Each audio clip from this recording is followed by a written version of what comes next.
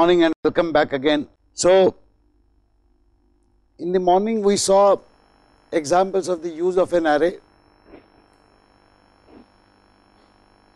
Now, another important use is to handle character strings. String, notice that we have not yet introduced string as a data type yet and that is because the programming language C does not provide for string as a data type directly. Instead, it provides for a data type called char which stands for character. Unfortunately, even the character data which is handled inside C is, is actually somewhere between an integer and character and the C programming language very loosely uh, distinguishes between integer and character. As a matter of fact, most of the characters are internally treated as integers. Since the character strings in C require the use of arrays, so far we avoided the explicit discussion of strings and string handling. However, now equipped with the discussion on arrays, we can see how arrays are utilized to handle character strings and therefore, we introduce the character data type in C.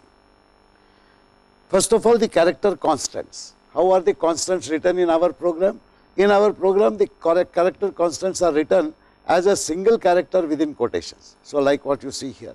So, I have small a in a single quote. Please note this is different from writing a string. I can write strings in my output operations and so on, but we are now talking about data value. So, an individual character as a data value will have to be indicated like this. So, internally it is represented as an integer and uh, it occupies 1 byte in our storage which is the smallest addressable unit of memory. Now, typically the representation of characters is done using an ASCII code. You are all familiar with ASCII code, but for our students we will have to tell them that it is 1 byte long and these are typical decimal values of the ASCII code for some of the well known characters alphabets A to Z, capital A to capital Z. It is useful to tell them what backslash n stands for the new line character uh, whose value is 10. And of course, then one can declare variables in a program of type char by saying uh, the keyword char instead of int or float and then describing as many variables as you want. Uh, as usual with numerical variables, you can initialize character variables to character values. Please note and I repeat and you must repeatedly tell your students that these variables do not store strings. Each variable can store exactly one character and nothing else.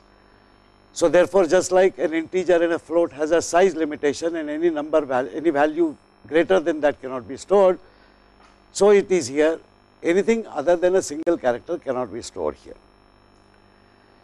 If I want to handle strings, then I will necessarily have to use some kind of mechanism which will permit me to look at a set of characters as a single entity and we know that that that uh, feature is an array and therefore the traditional way of representing character strings not only in C but even in C++ because C++ uses extended features is to use a char array. Uh, you should also note that the C++ language permits string as a separate set of objects and has a huge object library to handle uh, strings there. But as far as C is concerned, you describe a char array as let us say employee first name 60. So, this would be an array which can hold 60 bytes, 60 individual characters. However, a peculiar feature of C arrays is that to determine how many characters are there in an actual string which is stored inside an array, C uses a very funny notation. At the end of an actual string, it puts a null character. So, backslash 0 is a special character which is inserted at the end of a string. Consequently, if you have a 60 element array, it is perfectly possible for you to store a string with let us say only 17 characters, in which case the 18th character will be a backslash null. If you somehow get a string constant inside that array, the backslash null will be inserted by C. If however, you are manipulating the array, then it is your responsibility to ensure that at the end of any string, you necessarily insert a backslash 0. This backslash 0 now is like a flag. So, if you are examining what is the actual string inside an array, you keep looking at every character and the moment you encounter a backslash 0, you know that the character string has ended. So, here is an example, if I have a name with 60 elements, it can hold 59 characters. However, if I want to store the name of my friend Rajesh Mashruwala into this array, I cannot directly make this statement. That is not permitted in C because this is not a variable, it is an array. Instead, each location will have to be assigned a simple value corresponding to a character. So, I will have sname 0 containing R, sname 1 containing A and so on. And since there are 16 characters in this string including the blank to indicate that the string is finished, the 17th character will have to be inserted with a value backslash 0. Since backslash 0 or null value is the last element of an array in a representative string, such strings are called null terminated strings. Please note C provides absolutely uh, no protection against your messing up uh, the array. For example, if you have a 60 element array and you try to store 80 characters in it, C will not shout at you at all. It will quietly store the first 60 characters in the 60 elements. The 61st element will be stored in the next consecutive location. It will chew up your own program or some other data. So, you have to be extremely careful. The program must guard against such uh, uh, intrusions. Uh, I wanted to discuss uh, uh, other issues here. May I now go over to the quiz. So, let me demonstrate to you the, the use of clickers. So, here is a quiz. Uh, first of all, let me request uh, once again all the remote centers. I hope you have loaded the client software on the system and you have connected the hardware. I now request all participants to switch on their clickers by pressing the ST button. In case you already pressed ST button some time ago, the clicker might dangerously just shut off before you answer. So, in such cases press reset button and press ST button once again. I hope all of you have done that. Now, I will uh, uh, ask him to once again let me just go through the, the quiz is very simple. We all know computers have memory to store instructions in data. This is a question about history, so do not be worried about giving wrong answers. Which technology was used in the earliest digital computer? The choices are A, magnetic core, B, electronic valves, C, semiconductor memory, D, cathode ray tube and E, none of these. We are setting the time to 2 minutes, your time starts now. Uh, okay, this is over now. So, this is actually the clicker interface, these choices, can you collect the, okay. We still have a problem with several centers, but the crosses that you see here are the centers from which the responses have been collected. Uh, I do not know whether you are familiar with what we are doing. Each remote center has a receiver which collects all the clicker responses there. Then we have a, a comprehensive uh, a layer of socket programs, a separate team led by Jayant Bansal had developed it. So what happens is then all these responses come back here. So even if you do not see a cross in one of the fields, it does not mean that the responses have not been collected. The mechanism that we adopt in such cases is asynchronous. At the end of the day, all responses collected during the day for all quizzes are collected together and a single file is FTP'd here and the same software then it can consolidate. So teacher does get the feedback. In this case, we will see how much feedback you have got. So can you view the responses? Just show the bar chart. Wow, I did not know that people have uh, uh, so many different types of, uh, I mean the people seem to be equidistributed in their, uh, uh, this is very remarkable. So let me, let me analyze this quiz because apart from historical significance is also important for our colleague teachers uh, to know the correct answer because some smart student may ask this question. So, I will repeat the question. The question actually relates to Manchester Mark 1 which was the first digital computer to run a program. There were multiple computers being developed in US and UK, but the first one to actually run a program uh, was in England at that time. It was I think June of 1946 and that computer used the very funny kind of memory. So, let us look at the options again. Choice A said magnetic core and Not incorrectly many people have uh, shown that as an option because all of us know that the early computers used magnetic core as the memory. However, I am talking about 1946 and not 1955. So, magnetic core memory was not available then as a technology.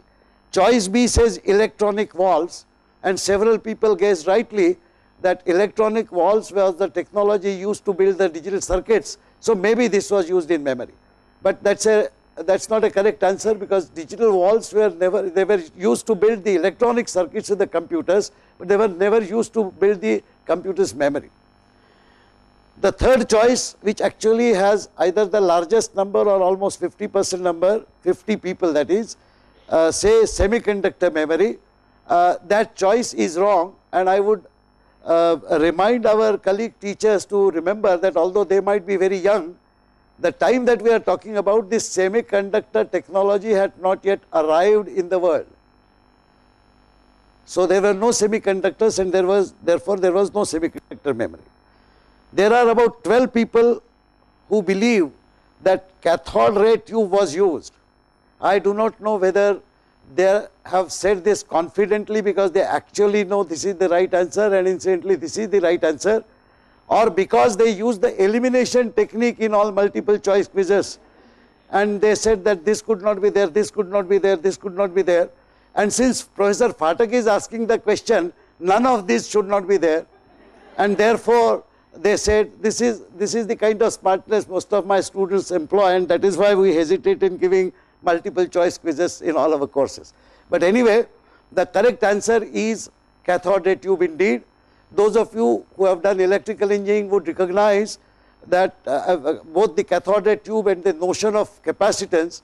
So, the cathode tube used to display either a dot or a dash and whether it was a dot or, or a dash was detected by a, a, a, a, capacitance which was sort of measured just on the surface of the cathode tube and uh, the memory had to be stable that means you, you should be able to say that I have stored 0 there and the 0 should be readable even after some time.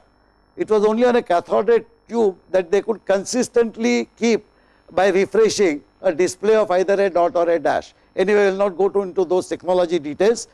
The objective here primarily was to confirm that yes, we are actually using this technology in a distributed fashion. So, with this I will say thank you to all my participants and thank you to all dignitaries. We are ready to continue with our uh, lecture here. So, let me go back to where we were. I was trying to tell you that arrays can be used to represent character strings in C and there is no concept of assigning a name or a string directly to an array. So, we must put individual characters inside a location. Further, since the string which is stored in this fashion is not a predefined data type, we cannot perform normal operations like assignment, comparison, concatenation, etc. So, therefore, we have to do something special just like we discussed the implementation of high precision numbers, where we said we will have to implement operations ourselves, uh, whether you want to add or subtract numbers. Similarly, strings represented in this artificial manner or a special manner I would not say artificial because some similar way has to be found anyway where null terminated strings will have to be handled by us all such operations will have to be written by us. Consider this for example, I want to find out the length of the string which is stored in SNAME. Consider Raj Mashruwala was stored in that string SNAME. I do not know of course what is uh, inside. So, how do I find out the length? Simple. I start looking at every character in sequence whenever I encounter backslash 0 which is a null, I know that there are no more characters and I complete my count. So, here is a small code written uh, to demonstrate how I can find out the length of a string. So, I say int i length for i equal to 0, s name i not equal to backslash 0 i plus plus continue. Please notice that this continue statement merely means go ahead. Actually, even if I had not written continue, it would have continued automatically to execute uh, uh, this uh, this particular block. There has to be some statement whenever I write it like this. Now, what it will do, do is it will start the loop with i equal to 0 then examine zeroth element, first element, second element and so on. Every time it will check this condition. Is the ith element uh, not equal to backslash 0 that means it is not null it, that means it is some other valid character it will continue. Somewhere this condition will become untrue when actually it will encounter a null. When it encounters a null at that point whatever is the value of i those many characters are there. How? Because the i value is actually the uh, indicate the index of an element where the null is stored. But remember that we start with 0. Consider for example, S name 17 is null. I will be then 17. When I come out, I am assigning 17 to length and that is indeed correct because if S name 17th is null, that means there were valid characters till S name 16, but since it started with 0, the total number of valid characters in the string is still six, uh, 17, 0, 1, 2, 3 up to 16. So, this is the correct logic. This is how you would have to implement a variety of functions. Fortunately, the C programming language permits us another standard library called string library. If we say hash include string dot h, then all those functions become available to us. I have listed some of the functions here. I do not want to go into the details of these at this juncture, but you should experiment with the usage of these functions. For example, string copy permits you to copy a string into another one, string cat permits you to actually concatenate two strings, strlen is the is the function which does what we just saw. Please notice therefore that some of these functions are simple and even we can write the code for these functions. However, life is made easier if there is a standard library which permits us to use these functions.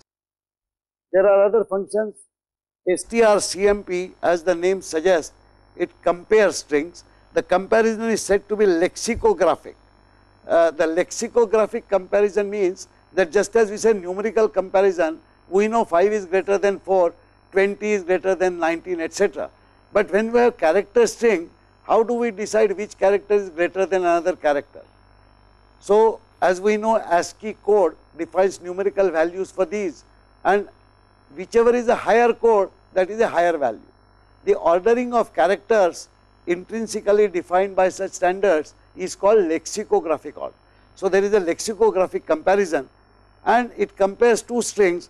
If there is a, a string that is found then it will it will return a value which is less than 0 if one string is smaller is 0 if both strings are same and positive otherwise.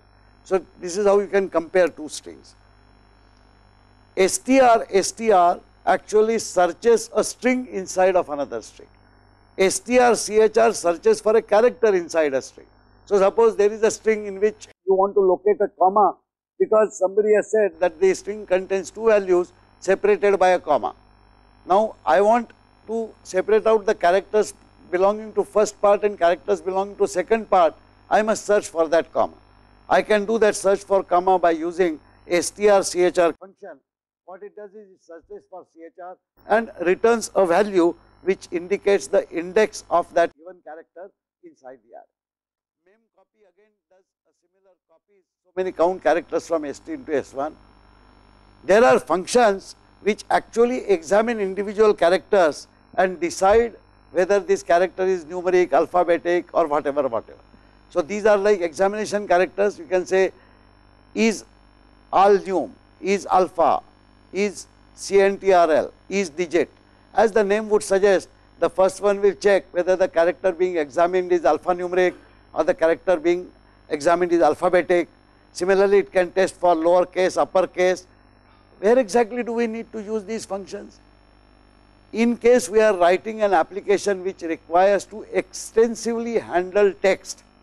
For example, somebody is building an editor or somebody is building a word processor, all of these things will have to be done always. Additionally, most compilers which have to look at your program as a text, they will have to do a lot of lexical analysis of the text that you input. Please remember the flexibility that you have. You can start writing comment at the end of any sentence you can put one space or you can put 5 spaces, you can put a tab all of these will have to be analyzed. You, you may put a number when you, you, uh, you may put a alphabetic character when you are supposed to put a number. So, within a number if you if the compiler encounters a character z for example mistakenly typed by you, you can't expect the compiler to crash, but you expect compiler to say that the constant that you have typed in at this particular point line number so and so uh, is not a valid uh, numerical value which is required there. In order to say that what the compiler would do is that it will examine the entire line that you give and at a place where a value is expect numerical value is expected it will first examine every individual character whether it is numeric or not. If it is not numeric it will shout at you otherwise it will actually translate the value properly. All of these things. So, anybody any program which requires heavy handling of text in some form or the other would need to use these. So, there are these and many other functions and you have an extremely rich library uh, to handle character strings here. The next example that I want to consider is that of searching. Searching of values inside arrays and since such searches are very rapid in case the arrays are sorted, the accompanying problem of sorting arrays are considered extremely important in any information processing activity. It is important for scientific computations when you have very large values to handle. It is important for industries where you have to again handle very large number of records. So, sorting and searching forms a very special topic in computer programming. It is discussed in the first course, it is discussed in a course in algorithms, it is discussed in the course in data structures where special data structures which help uh, uh, disk sorting uh, could be handled. So, it is an important topic. All that we are trying to indicate at this stage is how a simple searching mechanism works. You will recall that I had discussed one particular problem that suppose not, not in the context of programming, but when I was defining the context of human interaction, where I had said that somebody has a newspaper in which the results are published and the roll numbers are given and their marks are given and that is in the increasing order of roll numbers. However, he wants his assistant to find out whether a student certain student whom he knows has uh, how many marks that student has got. And suppose he gives to his assistant a list of these marks and roll number not in arranged in ascending order of roll number, but arranged in descending order of marks which is another way of sorting. After all I want to put the top performer at the first position then the next then the next and the lowest performer at the bottom. So, that is called merit list. So, suppose he gives a merit list and say find out whether this fellow is there or not and we said in either case the assistant will have to go through each and every number match it against the given roll number and find it out. So far we had no mechanism to store a set of roll numbers or a set of marks conveniently. Array permits us to do that. Once I have an array therefore, I might choose to store a list of roll numbers in an array and the list of corresponding marks in another array. So, if I have an array with roll numbers and array with marks, I have read the data once and now that friend of mine says find out whether this particular roll number exists or not. So, how do I check whether a given roll number exists inside the array or not? That is the first question, is a computational problem. And more interesting problem is, if this list is very big, how long it will take to do this checking and can I make it faster? Issue related to our notion of algorithmic efficiency. So, let us look at a line of code which actually find marks.cpp I have named it. It is not a full program, it is just a segment. Uh, eventually, we will upload a full program onto uh, the website. This is not uh, you, you do not need it today, so do not worry about it, but it will come on the Moodle eventually. So, let us see what uh, we are trying to uh, say here. Given a roll number, find the marks and I am presuming that there are maybe up to 100 students. So, their roll numbers are stored in an array called roll, marks are to be stored in an array called marks, n students represent the number of students. And I have decided to use additional variables here given roll should naturally represent the roll number which is given by someone which he wants me to search. found marks obviously would be a variable which will contain the final marks corresponding to that given roll number. There is also a position which will probably indicate the position of that student, not the merit position, position of that student, local, uh, localized position of that student inside the array. So, if there are 100 elements, whether it is the 53rd element which contains the given role or 25th etc. I is an index. With this explanation, let us look at the algorithm itself, it is pretty simple. I have said read all the data in arrays. So, please note this program that is why it said it is a, it is a segment, it is not a full program. So, how will you actually read all the data? Very simple. You can set up an iteration, first read the value of n students, set up an iteration i equal to uh, 1 0 to n students and in each iteration read a value of roll i and a value of marks i that is simple as that. Once you have read all the values then the program starts here. We want to find out the problem I restate, we want to find out whether a given roll number has passed the exam and how many marks that person has got. So, here is the code for it. I read the given roll number cin greater greater given roll. Now, I set up an iteration which will go over to all the existing elements of the roll number array. Please note the roll number array is defined to have 100 elements. However, the number of students whose data has been read is only n students. So, I will set up an iteration which will vary i from 0 to n students minus 1. Again please remember in case of arrays it is not only counting that I am doing, but my index expression will itself be formed by the variable that I use in my for statement. And therefore, invariably you will find that iterations which are controlled for moving or, doing passes over array elements typically will begin with 0 and will end with n minus 1 if n is the total number of elements.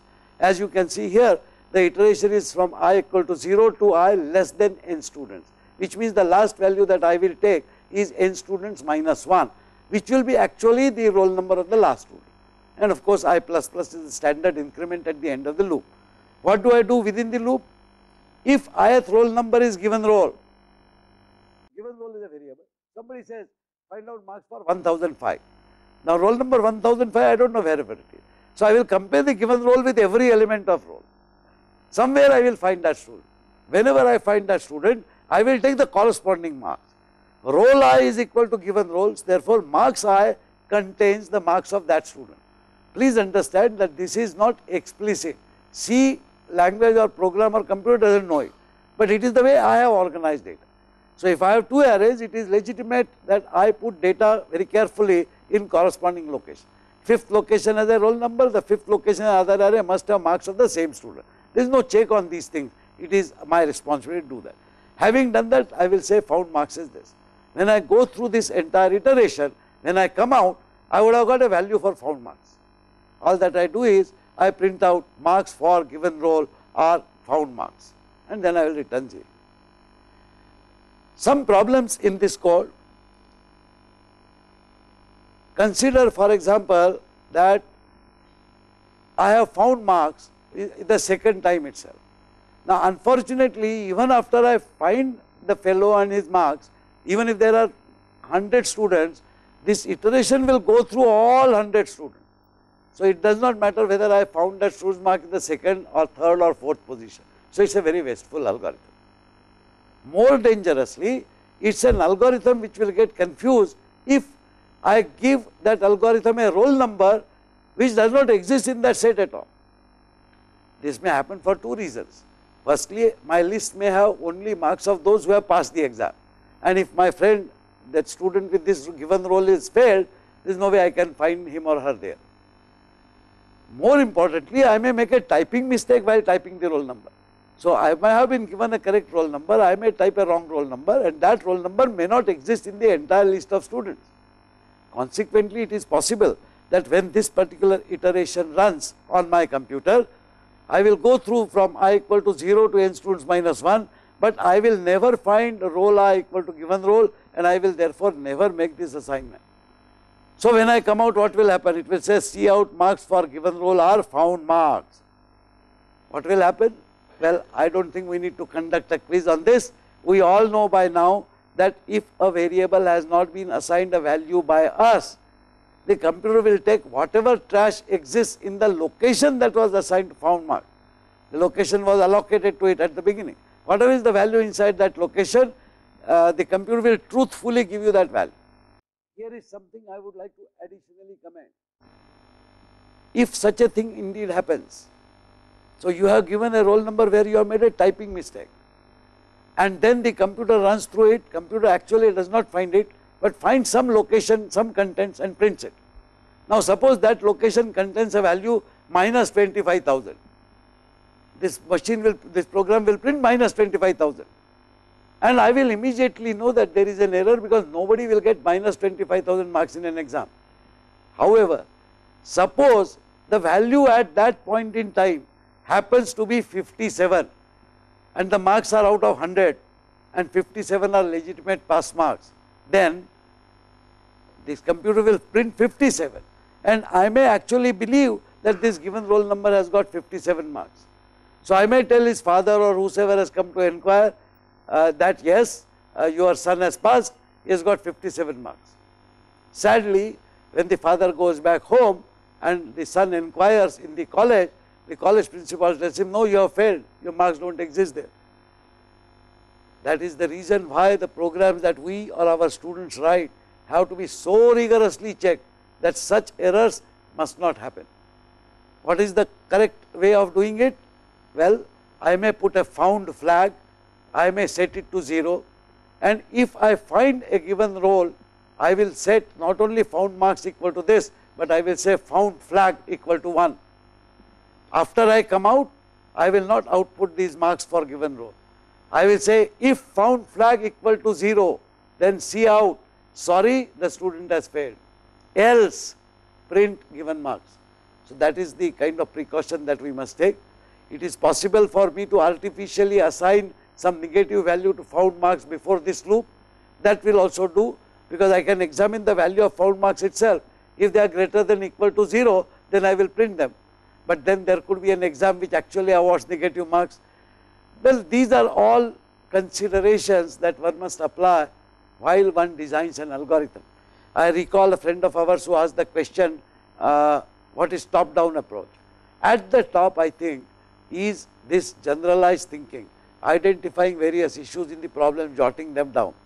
But top down is really not the name of this. This I would say systematic program design or program writing requires a lot of thinking first.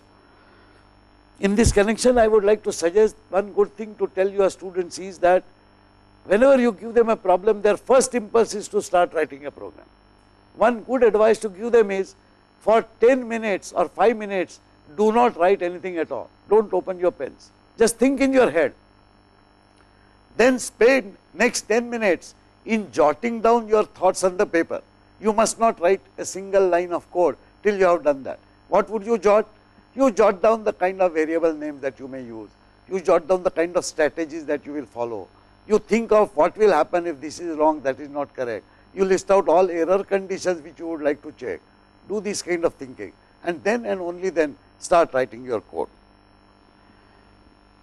Before beginning our discussions in this session, I would like to indicate what I originally started with saying how do I do efficient search. Why do I need an efficient search?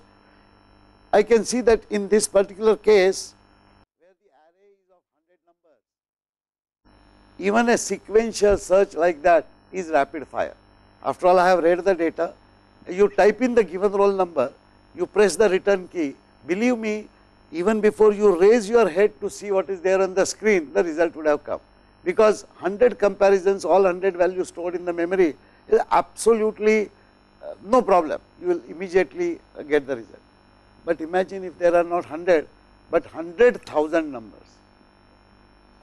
Imagine these 100,000 numbers are in an array not in the computer's main memory, but as we shall see later when we discuss the file system, they are on the disk. Wherever they are, if you can do a search faster and reduce the number of operations that you do, you write a better program. So, let us look at the algorithmic complexity of this particular approach. What is the size of my problem n? n is like the n students here. So, n students may be 5, 10, 100. If I have 10,000, I will declare of course, the arrays to be 10,000 or whatever. So, n is the size of my problem. With respect to n, what is the write for the number of operations that are being performed? Well, I have an iteration which goes over n times.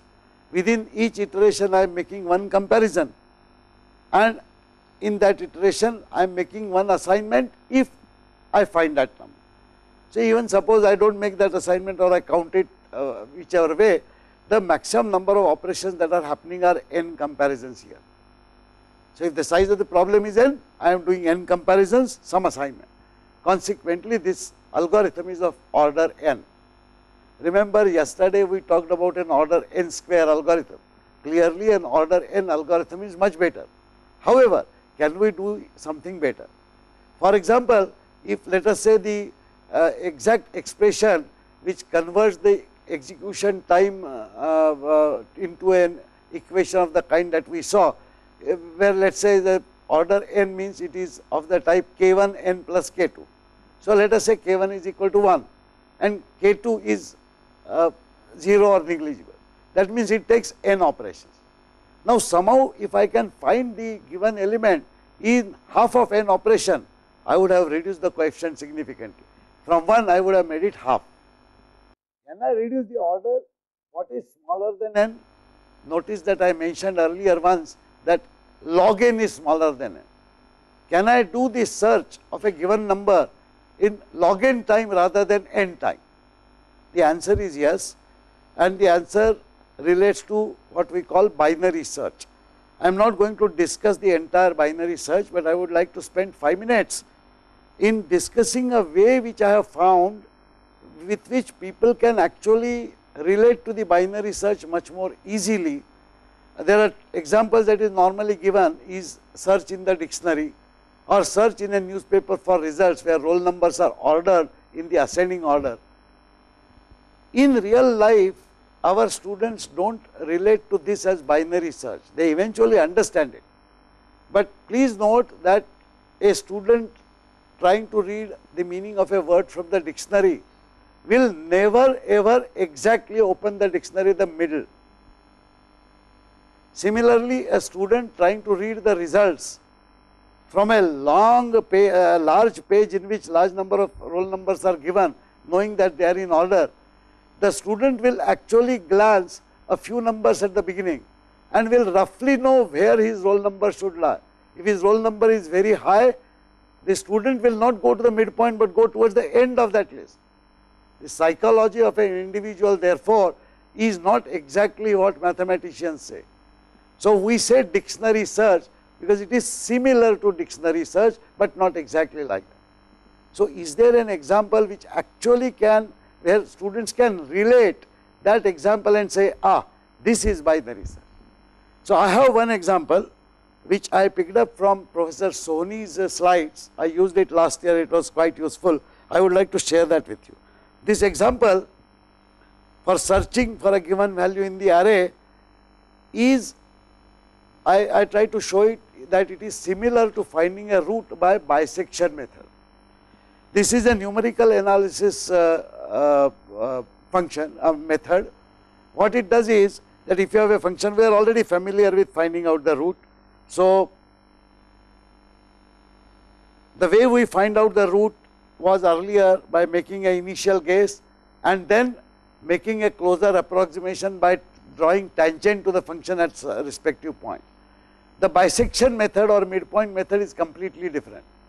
It requires two guesses. It requires one guess which is on one side of the root and another guess which is on another side of the root. So, suppose this is the function and let us say this high is one guess and this low is another guess. The function value at low is negative, the function value at high is positive. Very obviously it means that if it is a continuous function somewhere it will cross x axis and as we know wherever it crosses x axis that is the root of the equation. What does this method do? This method does something extremely simple and elegant. it identifies high, it identifies low. Now, what it does is, it finds out an arithmetic mean of the value high and low. Since low is the x coordinate of this point and high is the x coordinate of this point, effectively taking the average of high and low gives you a midpoint of these two and that is the reason it is called bisection method. What am I bisecting? I am bisecting the range of values from low to high into two parts. The method actually most of you know it, but I will repeat this for the sake of completeness. What you do now is you examine the function value at midpoint. In the extant case, in the example case, the value of the function at midpoint is positive. The value at high was positive. What this means is that the root does not lie to the right of midpoint, but it lies to the left of midpoint because we know that at low the function value is negative, at mid the function value is positive. Therefore, the root must lie between these two. Notice that in a single operation, we have surgically removed half the space which we were to search. Imagine that we have to search from low to high. I am not examining individual points at this case, but that is what I will relate to in case of search as. Nevertheless, even in terms of real numbers or even in terms of integer, I am searching so many points. This is the space I am searching. In one stroke, by taking the midpoint and examining what is the function value, I have got rid of half the search space. If incidentally the value of the function at midpoint was negative, I would have said yes, I have to search on this side.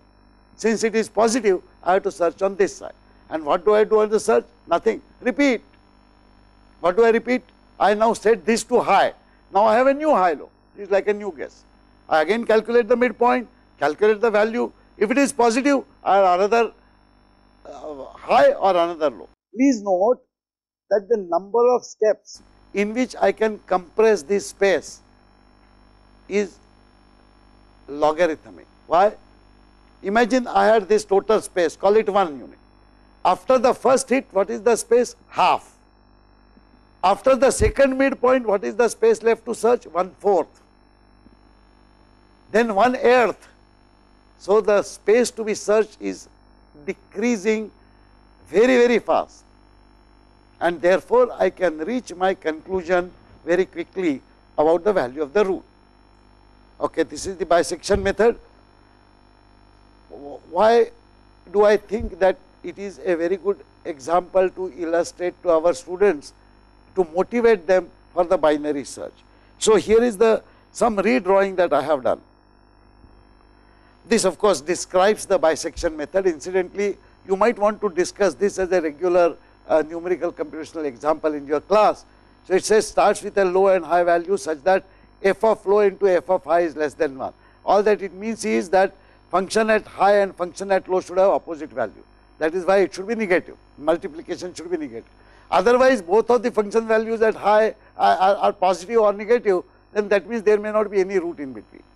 Now, it says compute the midpoint and compute the function value at midpoint. So, this is the midpoint and this is the function value at midpoint. While function value at midpoint is greater than some small threshold, absolute function value, locate the next interval to be either low to mid or mid to high. So, this actually explains the entire iterative logic. Keep on doing this. Find a midpoint, find out this, find out whether it is the new range is low to mid or mid to high and reset mid accordingly. Then find out whether you have found out that function value is very close to 0. That is the meaning of this threshold checking. If it is not, repeat, repeat, repeat. This is the logic. Since I can compress my search space and I can reach my root in logarithmic time. If I map it onto my problem of doing a search, let me first define an equivalent. Instead of searching a real value which is the middle point, suppose I divide all of this into number of points. Let us say this is the desired root.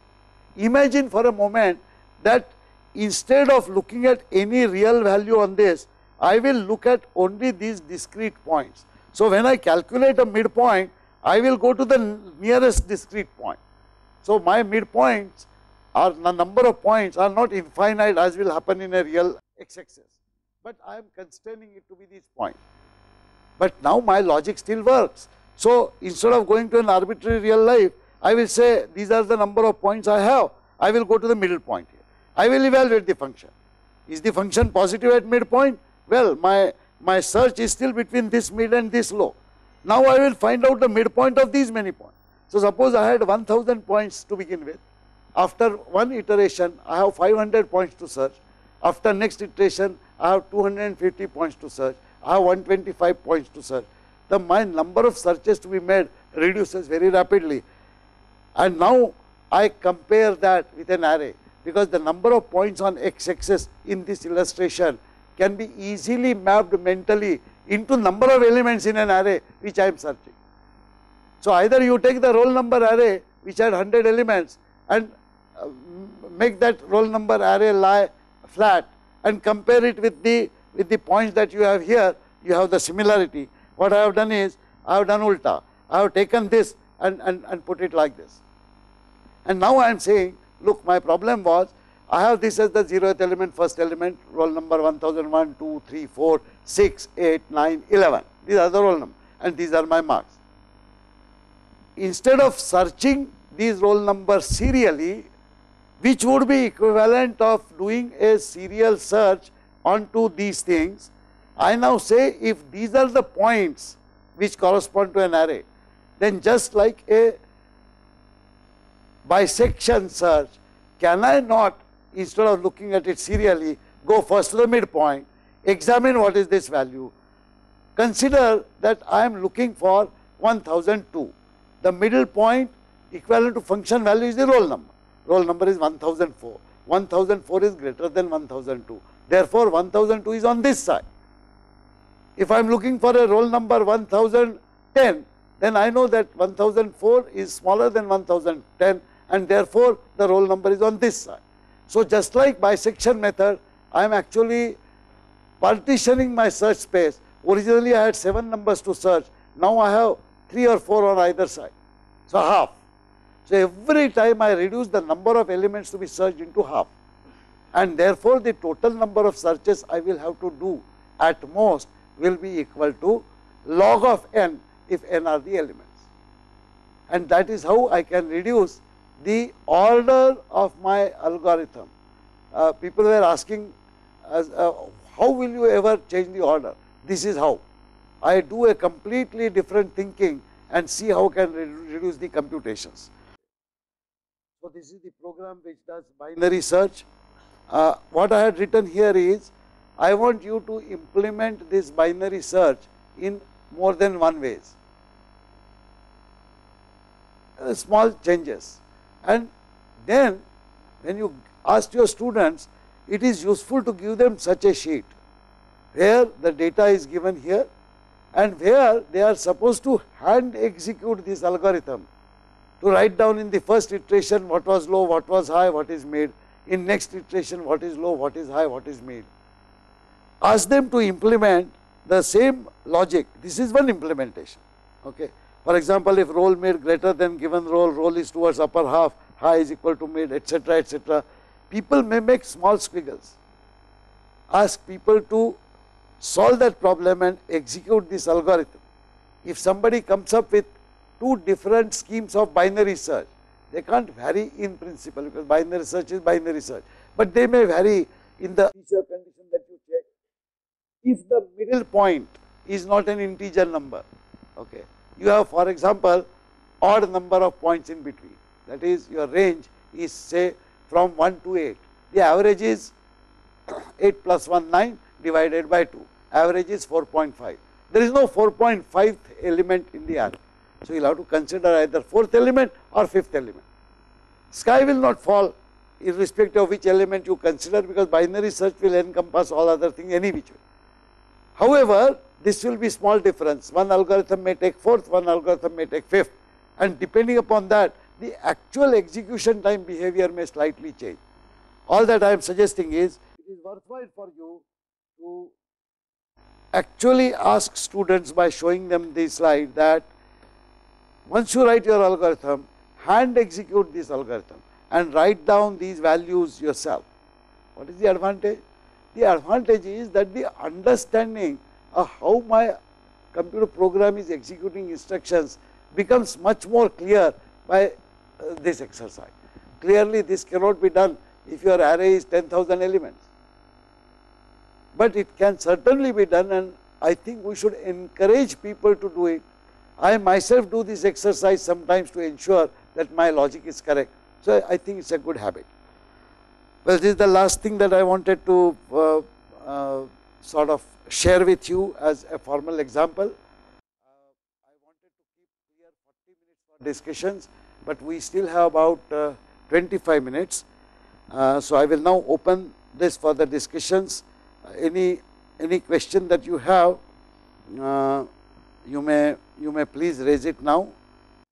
Immediately I am has a question why time complexity for of for loop is less than that of while loop. I am not sure one can ever make that statement. Time complexity for for loop uh, has to be very similar to the time complexity of while loop. So, there is in fact no complexity associated with loop control structure. The time complexity is of the entire algorithm. There is a question from uh, VNIT Nagpur. I can see you Nagpur. Over to you. Much. I will repeat the question for the benefit of my A-VIEW users. A-VIEW people are able to see that okay. The question is can every recursive solution be converted uh, to an iterative one and vice versa. Uh, frankly, I have never uh, uh examined the possibility of somebody trying to convert an iterative solution into a recursive solution.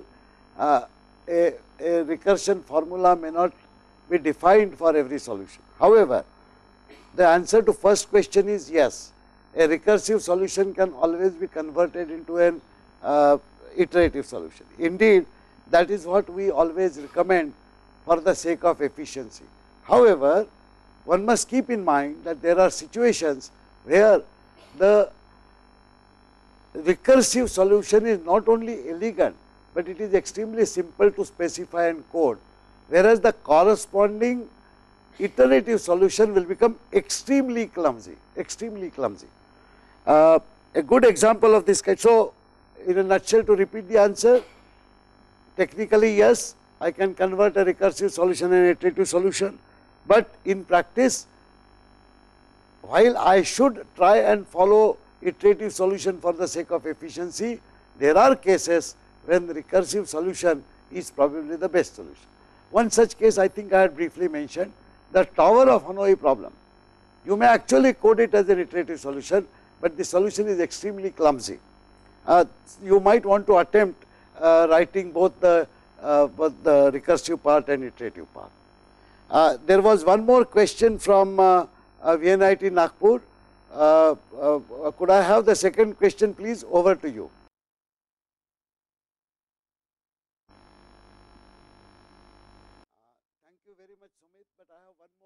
To make. While I could uh, clearly hear the question, I and my other colleagues could not see him because he was hidden behind the madam. I would like to go back to VNIT Nagpur for just one second requesting him to kindly stand up so that all of us can see you. Over to you. Yes, thank you. You are very visible now. Yeah. Thank you so much. I will now handle the question.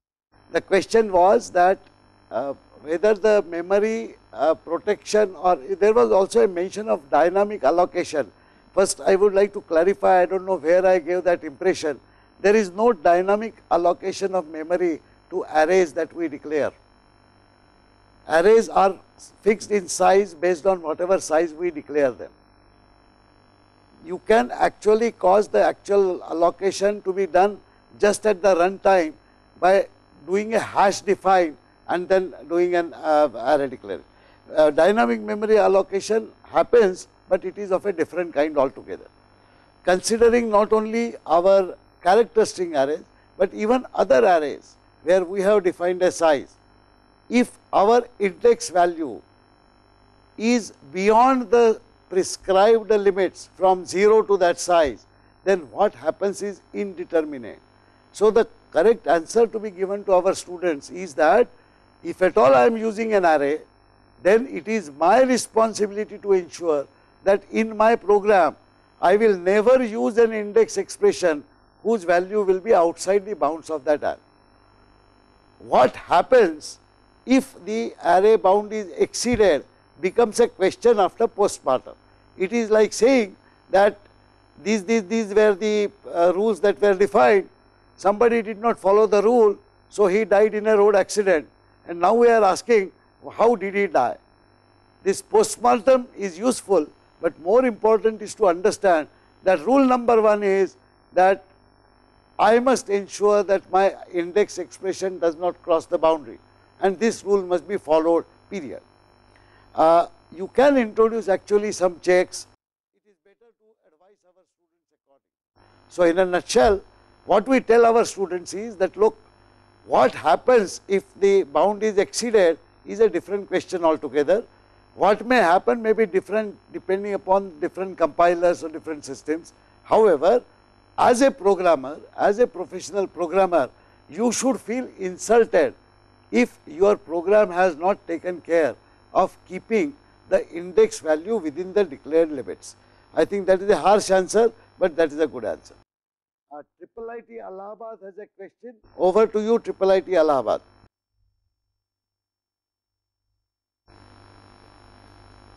Uh, thank you very much. I will first answer the second question. There seems to be some confusion about the index expression because earlier also one participant mentioned about dynamic memory allocation or something like that. So, first of all I would like to make clear that index expression is of course permitted and that is the way in which you access an element. Index expression evaluation has absolutely nothing to do with determination of the size of the array. So, index expression I repeat is not related to the size of the array. Size of the array is fixed once and for all when you declare the array in the statement int, float, char, wherever. So, if I have said int roll 500, then that array has a maximum size of 500 at any point in time, it cannot exceed that period. Now, I come to the index expression. When I want to refer to an element inside my program, like I was making a comparison is given roll equal to roll i that i is an index expression. So, the purpose of the index expression is merely to say which particular element at this point in time I am looking at. It is in order to determine which particular element the index expression is evaluated. So, index expression is evaluated every time you make a reference R i, R j, R 5 in your program you might write it at many places. Every time you make a reference, so I will repeat again, such references have nothing to do with array size. Array size has been fixed at the top once and for all, int something 500, int something 100, that is array size. Now in my program, if given roll equal to roll i, that i is an index expression. It is in this context I will answer your question. Your question is suppose the index expression contains two variables which are floating point is roll x divided by y equal to something, where x is float and y is float. I will answer this question in two ways. First, what will actually happen? Actually happen is very simple. If you read my slide carefully, it will say it will evaluate the expression and the resulting integer value will be taken to be the index. So, if x, x by y is float, it will be converted to integer as per the rules of conversion of floating point value to integer value. So, we do not have to worry about round up, uh, round down, whatever, whatever. Whatever it does in regular expression evaluation, it will do it. Imagine as if you have that expression, instead of writing it inside the square brackets as a reference or index expression, you have written it separately in a, uh, in a assignment statement. And the left hand side was an integer variable. So, if you have left hand side is equal to some integer equal to whatever expression you write. Now, the expression will result in a floating point number in case you have a floating point division or something. Ultimately, the compiler will generate instructions to convert this into an integer because it has to be assigned to an integer on the left hand side. Exactly the same thing will happen here. Which integer value it will take? It will take the same integer value as it would have taken had you done an assignment statement. So, in short while you look at an index expression, look at it as if it is a right hand side expression of an assignment state. and what will it be replaced by for actual usage? Whatever would have been the integer value that would have been assigned in that assignment statement that is actually the value. So, I hope the second question is answered uh, adequately for you. Let me come back to the first question. Why, why do the uh, uh, references in arrays start with 0 and not with 1 as appears to be natural for us? Nobody has unfortunately documented this reason, but uh, uh, Kernighan and others who defined this language uh, in, in some conversation they have admitted to widely held, widely held view which is common sense is the purpose of starting with 0 is let, let me use a diagram to explain uh, it is interesting for people to uh, note this thing. We will actually discuss this later, but I am just showing it to you. Suppose this is an array. Now, when we say the array has various elements stored in successive locations, internally how are these locations addressed? These are addressed using some numerical values. So, each location let us imagine we use decimal uh, notation. So, this location is 1000, this next location is 4 bytes away because 4 bytes are allocated let us say you have uh, assigned long int or integer to this. So, the next location address will be 1004, the next location address will be 1008, the next location address will be 1012 and so on. Now, when the compiler generates the machine language instruction, what it will have to do is suppose you want to access this element for some operation as indicated by your array reference. Let us say you have said if you are calling it 1, 2, 3, 4, then this will be your fourth element in your array eh, as per your terms. The way the compiler would generate instructions to calculate this is it will take this base address and it will add a displacement to it such that it points correctly to this. How will it calculate the displacement? The displacement depends on two things. One, the difference between the values in addresses in two successive locations. So, this is 4 bytes. Second, it will depend upon the actual index value. Suppose it was 4 and you had a 4 byte thing, it has to add to this 1000 4 minus 1 into 3 because 1000 itself is first element, second element is 4, third element is 8, fourth element is 12. So, this D will not be 12, but only uh, we will have to be 12 and not 16. I hope you are getting me. If it is fourth element, then I have to say 1000 plus 4 bytes into 4 minus 1. Imagine I am referring to let us say 18th element, I will write it here A18. For A18 the address will be 1000 plus 18 uh, plus 4, what is this 4? This is the 4 bytes multiplied by 18 minus 1. Because that will be the correct address of this location. Now here is the thing, if I start with 0 instead of 1, then this A4 will become A3, A18 will become A17 and I won't have to do one subtraction which I am doing here. In the days that we are talking about 1960s, 1970s, subtraction, addition, multiplication, division, anything that you could save meant a lot. So, if you had this indexing from 0 to something, you can take the base address which the compiler has decided to allocate and simply multiply whatever index you have directly by 4. You do not have to, to save one subtraction operation which was considered a big thing then. People said it may be much easier to have my arrays indexed from 0 to something. So, as I said I, I do not know whether this is the true and only reason but this is what I believe what prompted people to take this decision.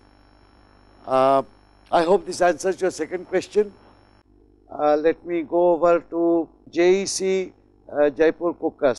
I can see you Jaipur Engineering College Caucus over to you. Uh, sir. So my question is why we are getting a different time complexity values every time if we are providing the same input to the program.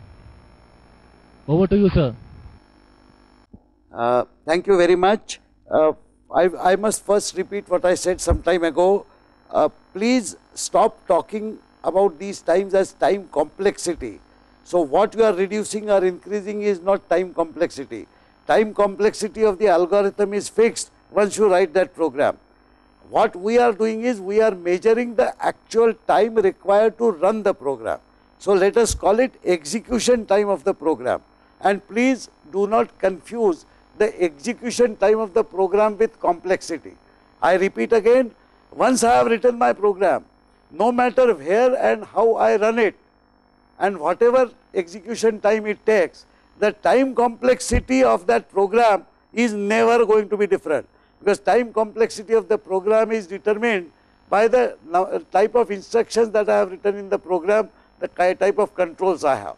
So, I will repeat again what we measure is execution time and let us be consistent we will talk only about execution time. Now, I come to the question a very valid question. His question is if he runs the same program many times and if he gives the same input then why does the program execution time differ from different times. So, once I run it I get say 14.3 seconds, another time I run it I get 17.8 seconds, third time I run it I get 25 seconds. Uh, let me confirm that this is the observation. Uh, over to you, please confirm that this is the observation. Okay. Uh, so, for the first time I just run the program I get the output that is a 13.27 and the, for the same input I get the uh, uh, uh, I get the real time that is about 12.37 so if the input is same then why the real time or the user time of system is varies? My question is this. Over to you sir.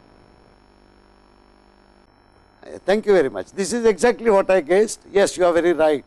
And I am glad you asked this question because many others would have observed the same thing but they have not raised this query his query is that every time he, any time he runs a program with the same input, once he gets 13 point some seconds, another time he gets 12 point some second, why should it differ at all? Let me give this answer, this is a very good question, so let me mention this. What happens is, whenever I am running a program on a computer, that is not the only thing that that computer is doing. Even in case I have a single user machine, that is, it is a PC and I am sitting alone on that PC, the operating system is running behind on that PC. And the operating system has maybe 20, 30 different small time programs which are running. Somebody looking at the desk, somebody looking at something else, whatever, whatever, whatever. There are programs which are automatically initiated for a short spurt by the operating system. And that program may suddenly execute once when I am running the program, another time it may not execute. The situation is worse when I have a central server to which many machines are connected. Consider this there are 20 users connected to this server. I give a command to run a program. Now, this server depending upon how many users are active may allocate less time to me or may allocate more time to me. Consequently, my timing will change. So, and the third uh, point is that the, uh, the time utility of Unix is not very accurate. In fact, if you read the documentation, it very clearly says that you cannot guarantee accuracy of the time. However, I if uh, so in less than 1 second you will not at all be able to measure. However, if there is no other load on the computer and how will you find that out? You run, you see the number of processes which are running. If you list the processes you will find what are the programs that the operating system is running. If there are a large number of processes running, we cannot automatically find out which are active processes and which are waiting processes. But if you have a time difference of a few seconds, please learn to ignore it because that does not change your complexity or anything. So, if you want to test, your test bed or test case itself should have a substantial amount of time. In general, any difference of less than half a minute would not be considered very meaningful and for that difference to be noted the size that you run, the size of the problem that you run has to be much larger.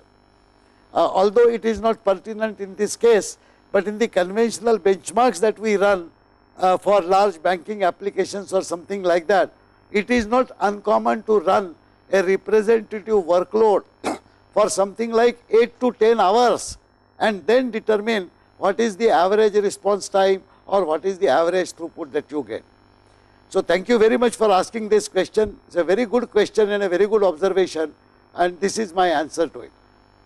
Uh, thank you so much. My colleagues are reminding me that we are already overflowing with uh, uh, in our time schedule. we will meet tomorrow morning at 9.30 sharp.